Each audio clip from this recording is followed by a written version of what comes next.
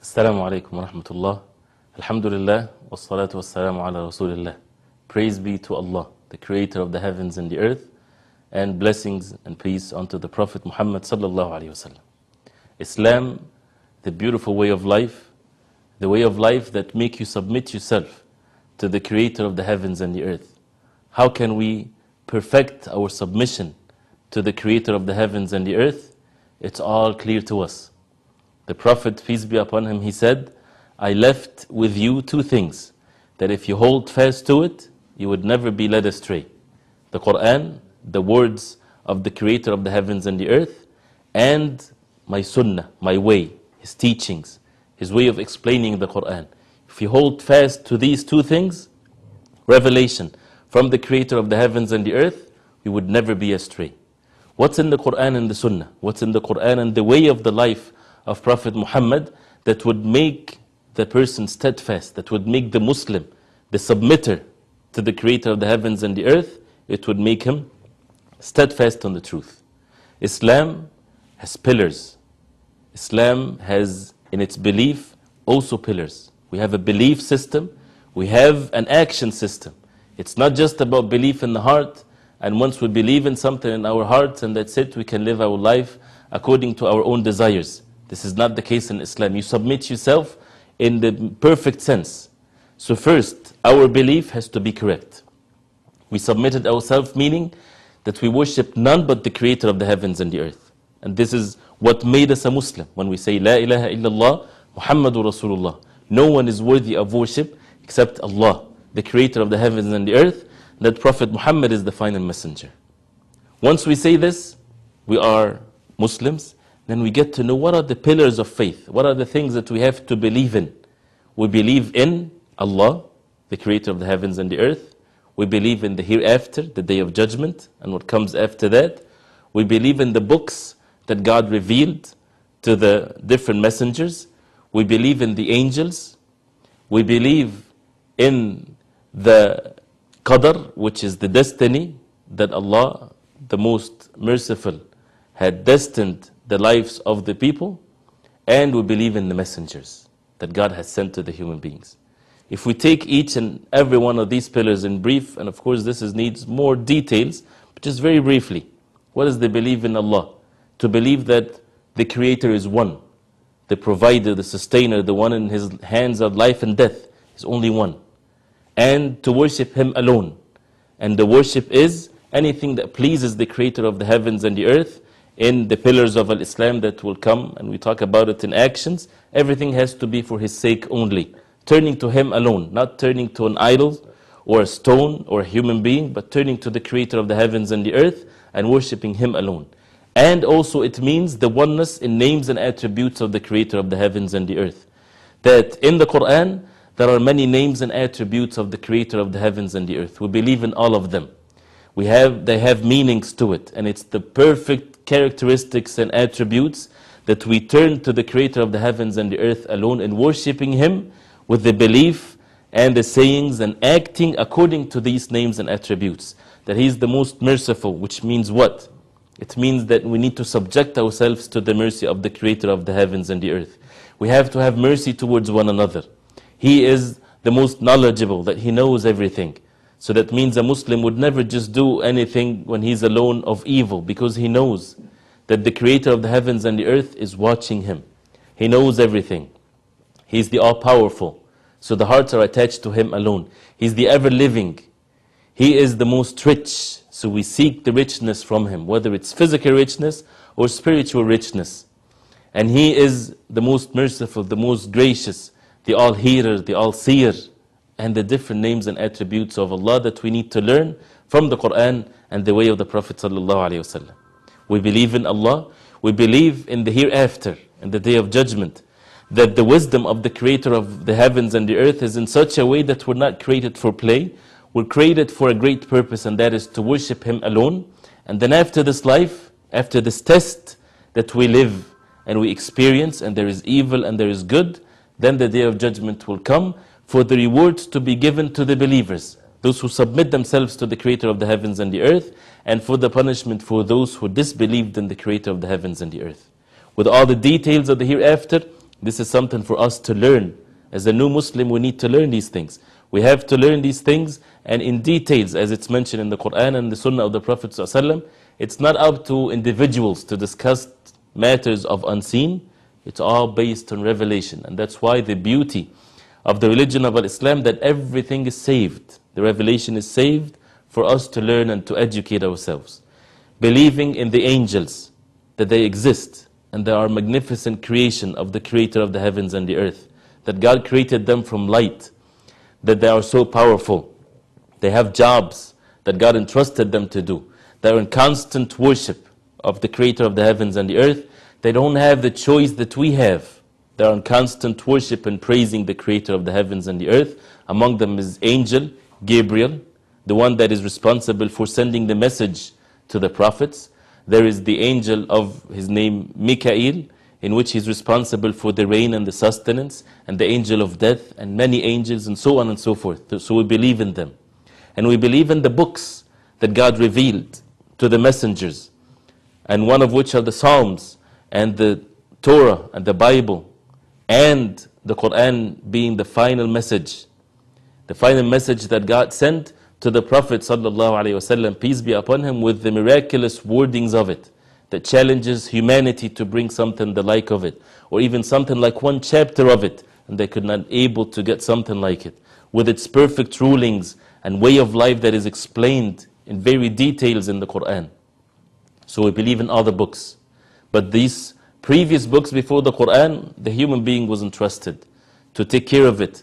But changes occurred when it comes to these books. But with the Quran, God promised, Allah promised to save it. And that's why it's saved with every letter of it 1400 years ago. And then we believe in the messengers, that God sent messengers, that the human beings are in need of messengers.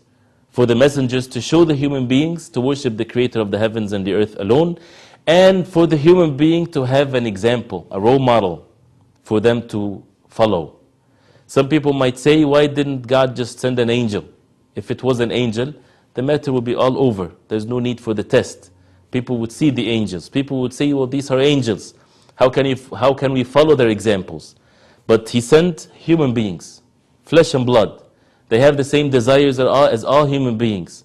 But they were different in the sense that they received revelations from Allah and Allah perfected their way of life for us to see and to imitate their way of life. And the most of all these messengers, the only one that whole, his whole entire life has been saved for us as if he is living among us is Prophet Muhammad. That everything is saved about his life. How did he believe in the creator of the heavens and the earth? How did he worship the creator of the heavens and the earth? In the perfect sense. How did he give charity? How did he, or the manners that he had, how did he eat and drink? How did he even go to the bathroom to relieve himself? Everything is there. How did he deal with women, with men, with neighbors? Everything is there for us to learn how to live our life in the most perfect way. And he was a human being that got married and have children for the husband to know how to be a husband and for a, for a father to be how to be a father and for the wives to be how to be wives and for the girls how to be girls and so on with the perfect role model that is being explained and shown in the life of the Prophet. So messengers, their message to be conveyed to the people and for us to follow the way of the Prophet. And to believe in the destiny that Allah subhanahu wa ta'ala is the most knowledgeable and everything is destined for the person. So as a result of that, we would have our heart in state of tranquility. That we know that nothing happens by itself like this by chance. It happens by the most wise. So that's why we do two things with regarding to the destiny of the creator of the heavens and the earth. One, before anything happens, we put our trust in Allah. We put our trust in the creator of the heavens and the earth. We take all the physical means that is permissible for us to take according to what's in the Quran and the Sunnah of the Prophet. And once something evil happens or something that we don't like to happen happen to us, immediately after that, we are in state of being pleased with the destiny of Allah because it comes from the most wise. And we did our best, and we know that everything is by His wisdom.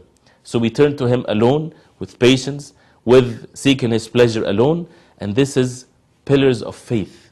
things that are unseen to us, but we believe in it. In Allah, in the creator of the heavens and the earth, in the hereafter, in the angels, in the books, in the messengers, in the destiny, which is the qadr of Allah subhanahu wa ta'ala.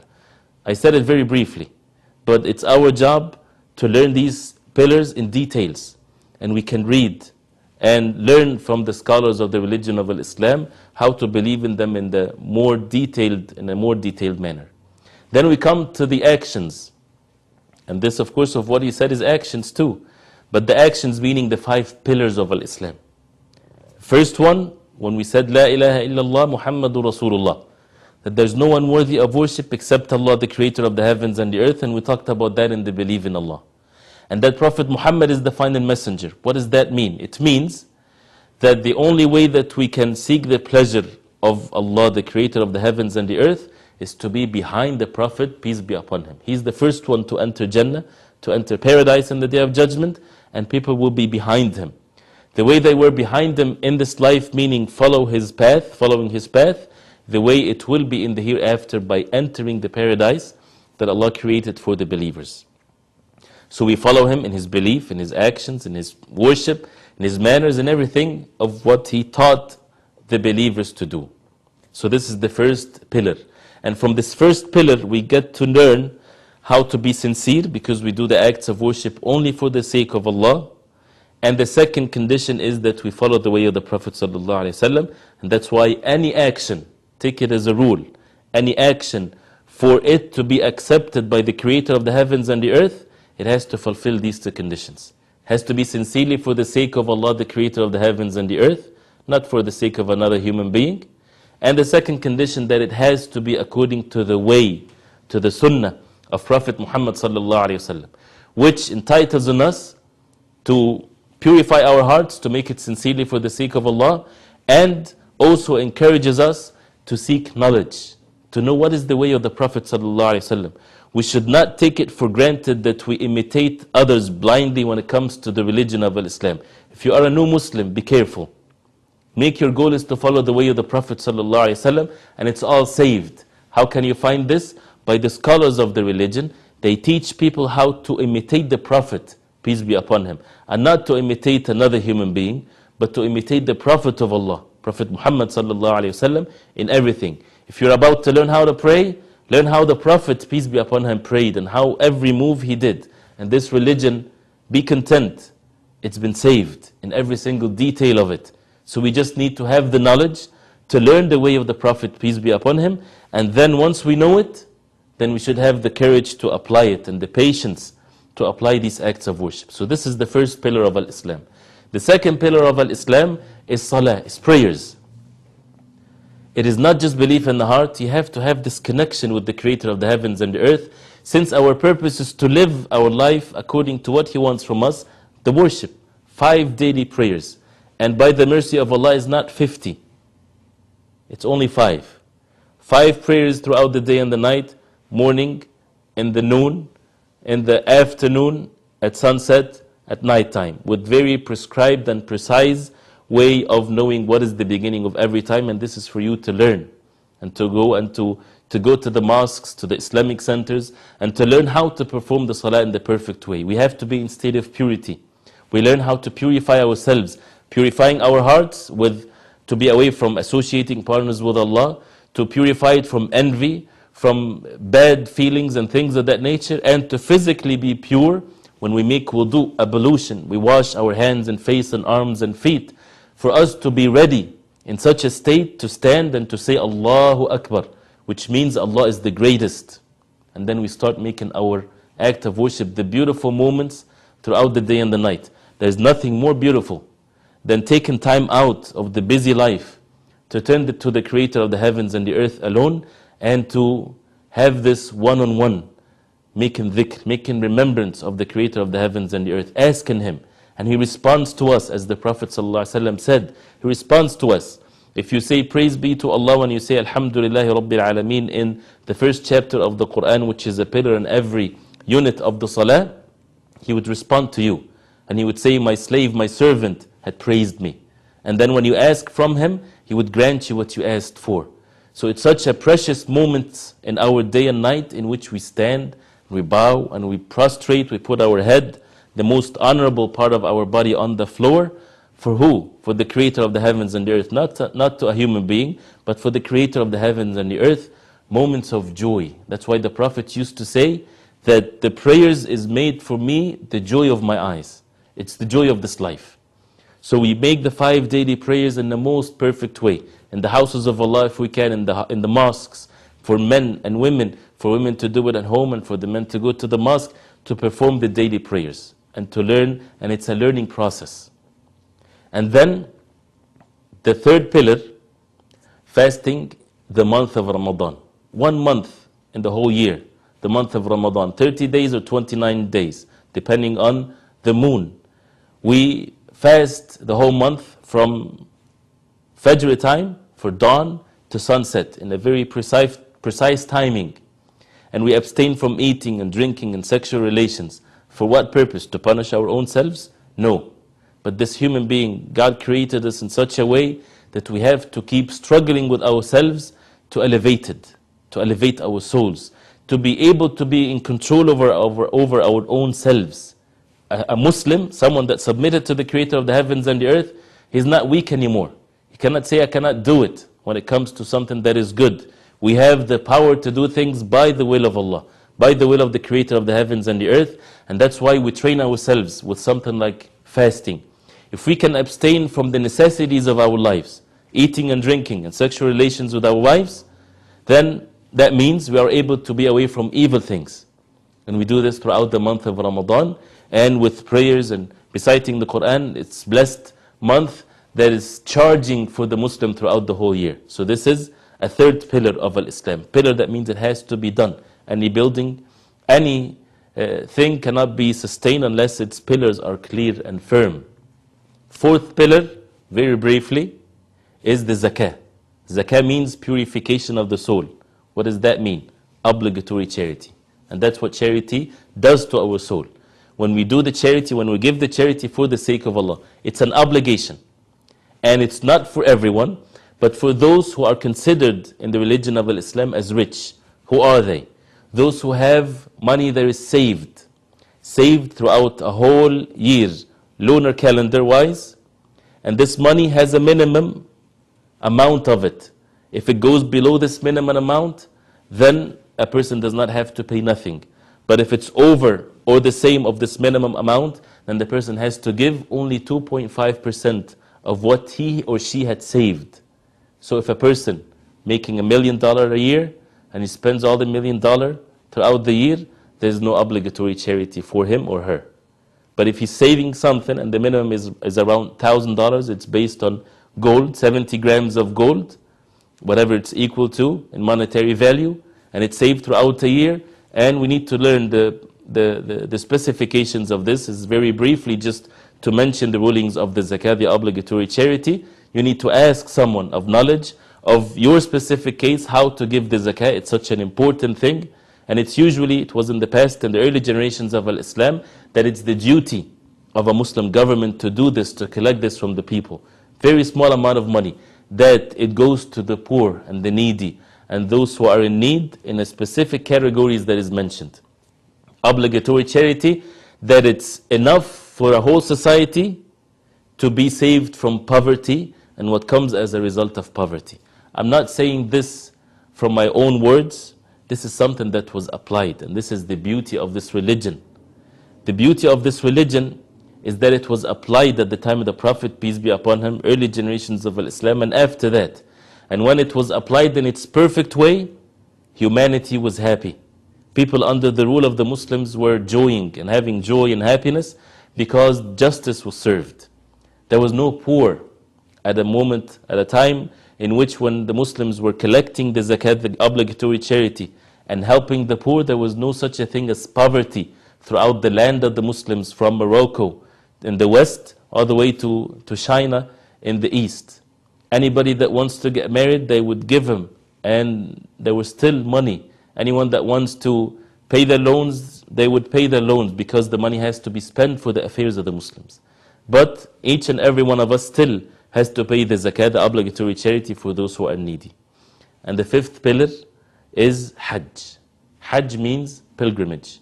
seeking a place, going to a place once in lifetime. Once in lifetime, and that is in Mecca, the first house of worship ever built, built by Prophet Abraham, peace be upon him. And the Prophet Muhammad wasallam strengthening the fact of this act of worship that it's an incumbent, an obligation on every Muslim, men and women, to go once in lifetime if they have the means to do so, the physical means and the wealth, for them to go to Mecca and to do certain rituals that Abraham, peace be upon him, he's the one that initiated it, and Prophet Muhammad, peace be upon him, he taught his people the true way of Abraham, peace be upon him, and how he made Hajj or pilgrimage. Pilgrimage actually it sums all the different pillars of Islam. It's such a journey that purifies the soul that all people, all men, they look the same. They wear or they wrap around themselves two white sheets to give the sense that this is like the day of judgment. There's no difference between rich and poor in this beautiful journey. And also women, when they go, they perform Hajj and they make their prayers and they give charity and they go from one place to the other as an obedient servants to the creator of the heavens and the earth. They don't say why we're going from this place to the other place. We're just going from one place to the other in rituals of Hajj because this is the order of the creator. So we get to learn how to submit ourselves and to have this perfect submission not to a human being but to the creator of the heavens and the earth, the most merciful, the most just. So this is only done once in lifetime. It's only obligation once in lifetime. And these are the five pillars of Al-Islam. Is this is the whole religion of Al-Islam? There is something even more details than this. There's another level, and that's the level of Al-Ihsan. Al-Ihsan, to be a good doer. To worship the creator of the heavens and the earth as if you are seeing him. And if you cannot see him in this life, which is the case, only the believers would see him in the hereafter, then know for sure that he is watching you. And this is a higher level also that we need to attain. And then we learn how to have manners, how to have manners with other individuals in our life, how to have manners with our own selves, how to be watchful of Allah subhanahu wa ta'ala. And the main important thing in our life is the tawheed, is the oneness of worship of Allah subhanahu wa ta'ala, to purify ourselves from associating partners with Allah, to turn to the creator of the heavens and the earth, and to learn. This religion encourages every one of us to learn the truth and to hold fast to the truth and not just to blind follow anyone but to learn the truth to learn the way of the prophet wasallam to follow the footsteps of the best generation ever brought to mankind companions radiallahu anhum early generations of islam that Allah was pleased with them and then we will have the success in this life and in the hereafter there are more details but hopefully you would learn from the deen show from anything that you would read from authentic sources and learn the deen of Al Islam and live the beauty of this religion. And the more days passes, the more we enjoy this religion, this perfect life of Al Islam. And that's why every day we are more than the day before. We're increasing in our iman, in our faith, because it goes up and goes down, does not stand still.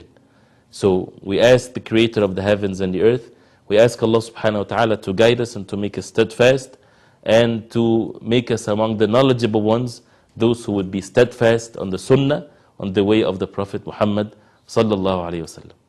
وصلى الله وسلم وبارك على محمد وعلى آله وصحبه وسلم والسلام عليكم ورحمة الله وبركاته